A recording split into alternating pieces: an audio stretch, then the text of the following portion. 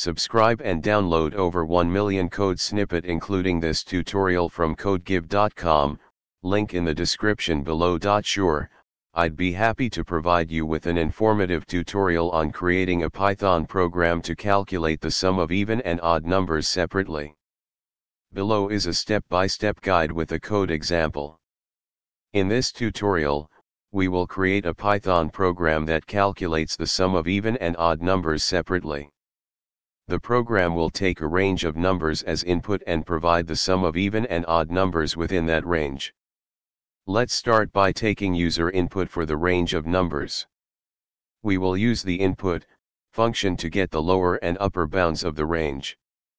Next, we'll define a function to calculate the sum of even and odd numbers within the given range. Now, we'll call the calculate underscore sum function with the user input range and display the results. Put all the code together in a Python file and run the program. Enter the lower and upper bounds when prompted, and the program will display the sums of even and odd numbers within the specified range. Feel free to customize the code as needed and experiment with different ranges to test the program. ChatGPT